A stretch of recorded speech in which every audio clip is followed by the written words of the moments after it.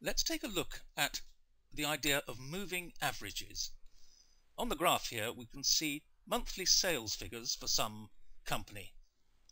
Uh, as you can see they're very erratic and it's very difficult to glean any important information out of those figures.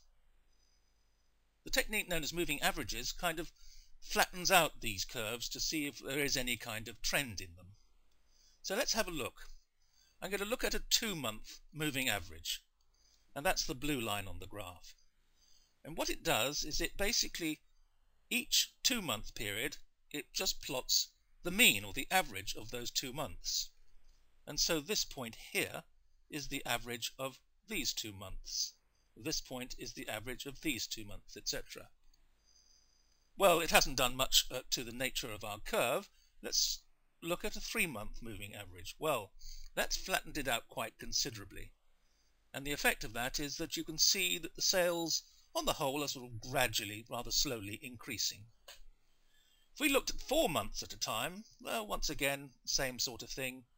Five months at a time, a similar gradual increase, and six months, once again, similar gradual increase. So we're able to use uh, this technique uh, to look at a gradual increase in sales, even though the original figures are not easy to see that. Let's reset our graph and look at the process of generating moving averages in a little bit more detail. And we'll start off by generating a two-month moving average for some figures that we'll give for ourselves. Let's say we started off with this figure and that figure. Then the first of the two-month moving averages is going to be plotted at this point, which is the mean of the two values. You can see this over on the right the mean of these two numbers is this number, and it's plotted halfway between those two numbers. If we have another point, once again it's plotted halfway between the second and the third, as in this diagram, etc., etc. Reset. Let's have a look at some three-month moving averages. Well, should be quite clear that what we do need is three months before we get even our first point. And the first point, this value, is the mean or average of these three values and it's plotted exactly in the middle of the three values, in other words, on the second month. The next one, plotted in between the second and the fourth values, and it's plotted at the third month. It's the mean of these three numbers etc., etc.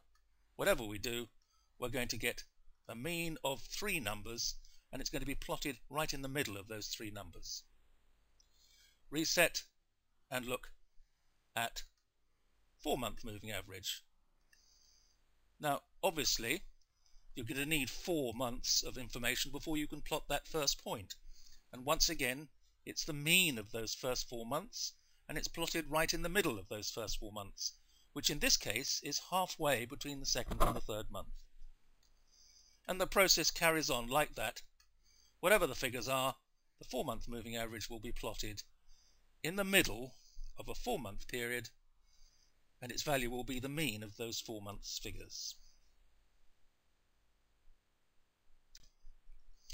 And it's a similar story with five-month and six-month moving averages.